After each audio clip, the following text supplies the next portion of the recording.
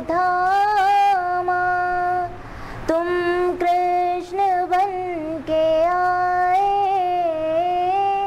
जब मैं बना सुदामा, तुम कृष्ण बन के आए। जब मैं बना सुदामा, करता नहीं मैं कुछ भी। सब सरे आम हो रहा है। मेरा आपकी कृपा से सब काम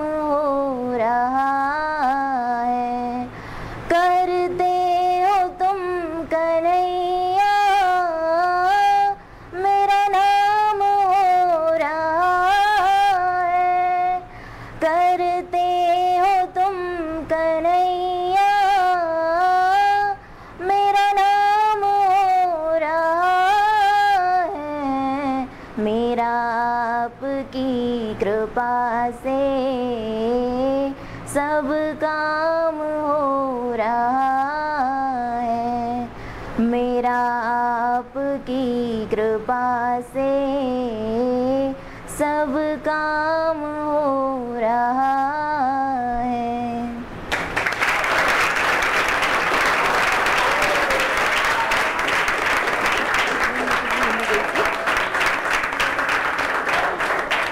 करो जग में रह कर कुछ नाम करो, कुछ काम करो, कुछ काम करो।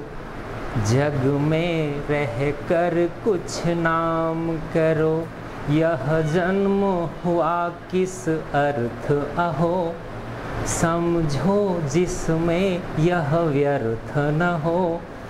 कुछ तो उपयुक्त करो तन को।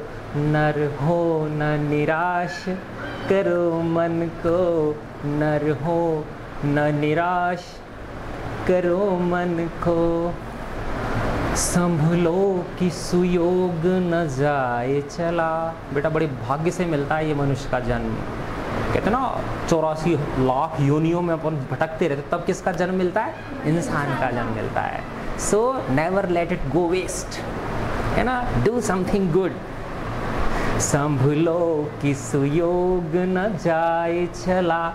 कब व्यर्थ हुआ सदुपाय भला?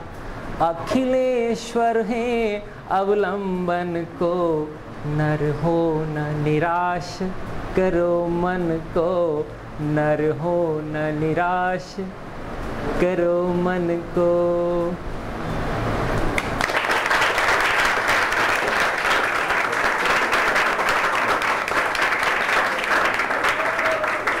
चलो। एक और बोनस सुनाया जाए आपको। ठीक है ना? अब एक महीने तक मत बोलना, कि गाना सुनाओ। ओके? आप लोगों को सबको पता है, भगवान राम का राज तिलक होने वाला था। क्या होने वाला था? राज तिलक। अगली सुबह राज तिलक होने वाला था, और फिर विधि, कहते ना, भाग्य, क्या लिखा था विधाता ने? कि उनको कहाँ जाना पड़ा? वनवास जाना पड़ा। और माध्यम कौन बनी? कैकई माता। कौन मा, माध्यम बनी? कैकई माता माध्यम बनी। बेटा बहुत प्रेम करती थी वो भगवान राम को। भगवान राम को भरत से भी क्या करती थी वो? बहुत ज़्यादा प्रेम करती थी है ना? लेकिन कहते ना भाई देवताओं को क्या करवाने थे? असुरों का नाश करवाना था तो उनको कहाँ भेजना था? वन में भेजना था। तो इसलिए बेचारी किसको माध्यम बनाया? के कई को माध्यम बनाया। लेकिन बेटा माध्यम बन गई तो उनको पश्चाताप हुआ कि नहीं हुआ? है ना? तो बच्चों, देखो कि हमसे कोई गलती हो जाती है जीवन में, ठीक है? तो उसका पछतावा जो होता है ना, वो हमको अच्छी तरह से जीने नहीं देता। वो बार बार हमारा क्या करता है? पीछा करता है वो। तो हमें भूल के भी गलतियाँ नहीं करनी चाहिए। कोशिश करनी चाहिए बेटा, गलती ना हो अपने से।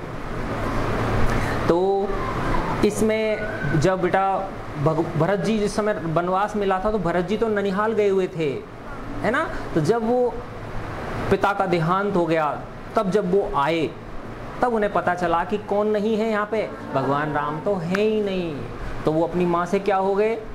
गुस्सा हो गए, बहुत ज़्यादा गुस्सा हो गए, उनको खरी खोटी सुनाई। तो उसी पे बेटा आप लोगों ने, तुम लोग YouTube पे सर्च करके देखना रविंद्र जैन।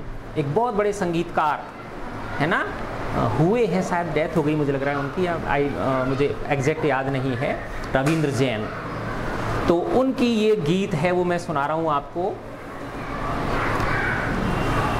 भरत जी कह रहे हैं। कौन बोल रहे हैं? भरत जी बोल रहे हैं। ओ मैया, तूने काठानी मन में राम सिया भेज दायरी बन में। ओ मैया तूने काठानी मन में। राम सिया भेज दायरी बन में। क्या ठानी तुमने मन में जो राम और सीता को कहा भेज दिया? वन में भेज दिया। जदपि भरत तेरो ही जायो, तेरी करनी देख ल जायो। अपनो पद तूने आप गवायो, भरत की नजरन में राम सिया। भेज दैरी बन में यद्यपि भरत तेरो ही जायो। भरत यद्यपि तेरा ही पुत्र है, तेरा ही, तेरे कोख से उसने जन्म लिया है। यद्यपि भरत तेरो ही जायो, तेरी करनी देख ल जायो। हे माँ, तूने ये क्या किया कि तेरी इस काम को देख के आज उसे खुद को क्या आ रही है? शर्म आ रही है। यद्यपि भरत तेरो ही जायो, तेरी करनी देख ल जायो। अपनो पद तूने आप गंवायो। है ना? हम बेटा हमारे बुरे कर्मों के द्वारा अपनी पद प्रतिष्ठा को क्या कर देते हैं? गंवा देते हैं। तो अपनो पद तूने आप गंवायो किसकी नज़रों में? भरत की नजरन में। महल छोड़ वहाँ नहीं रे मढ़ैया, सिया सुकुमार, संग दो भैया, काहू वृक्ष तर भीजत होंगे।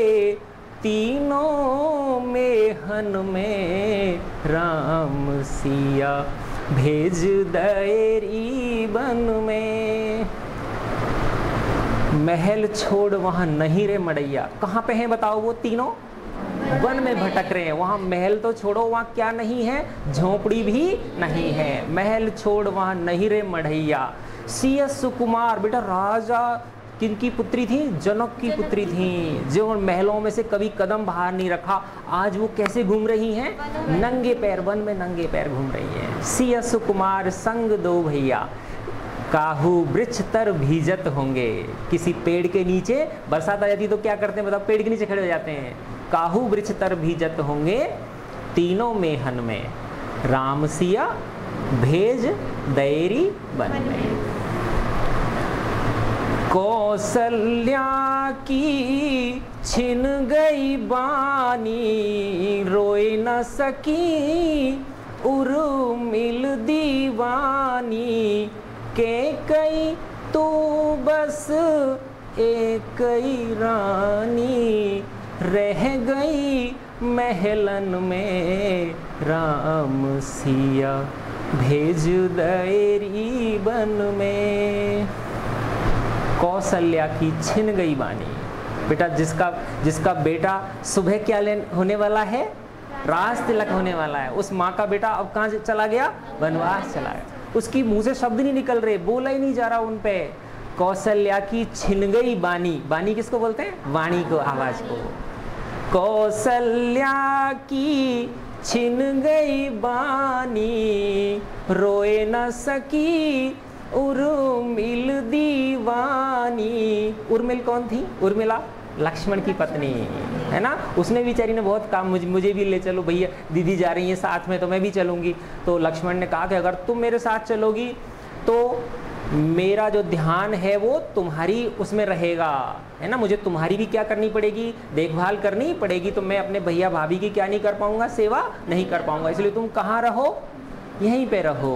और उसको शपथ दिला के गए थे बेटा अपनी पत्नी को लक्ष्मण जी कि मेरे पीछे से तुमको रोना नहीं है। रोए ना सकी उर्मिल दीवानी। आँसू नहीं आना चाहिए आपके। रोए ना सकी उर्मिल दीवानी। के कई तू बस एक ही रानी रह गई महलन में। अब तू अकेली रानी बन के कहाँ रहे इन महलों में रहे? तो ये शब्द किसने किसको कहे? भरत जी ने। और अपनी माँ को कहे।